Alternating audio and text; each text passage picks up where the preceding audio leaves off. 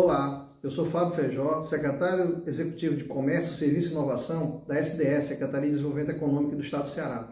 Eu estarei participando do 12º Congresso de Provedores de Internet que acontecerá nos dias 12 e 13 de abril aqui no Centro de Eventos do Ceará. No dia 12, às 11 horas, eu irei apresentar como o fortalecimento da educação é importante para todos os agentes da cadeia da TIC, né? Tecnologia, Inovação e Comunicação. Nos vemos lá. Vamos lá?